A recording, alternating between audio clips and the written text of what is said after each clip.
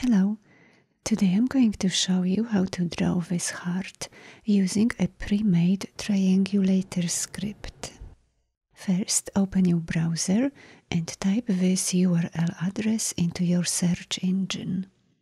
Now select the first option from the search list and click on this download button.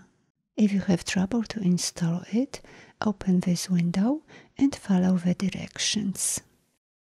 Be sure to restart Illustrator after you installed the script.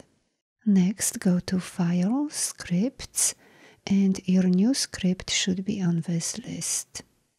Now let's create a simple heart. First select the rectangle tool and draw a rectangle. Switch to the direct selection tool, select these two anchor points on top and round their corners. Let's duplicate this shape. Press the Ctrl and C keys on your keyboard to copy it and Ctrl F to paste it in front. Now rotate the top shape by 90 degrees. Select everything. Next open the Align window. Be sure Align is set to the selection and choose Horizontal Align left and Vertical Align bottom. Let's rotate everything by 45 degrees.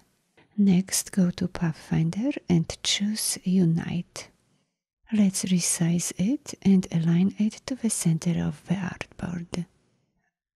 Finally, with the heart selected, go to File, Scripts and choose Triangulator. If you wish to make any changes, first select the lasso tool now draw a closed path around all corners that meet at this point. Next, switch to the direct selection tool and drag to reposition the corners. Thanks for watching. Bye bye.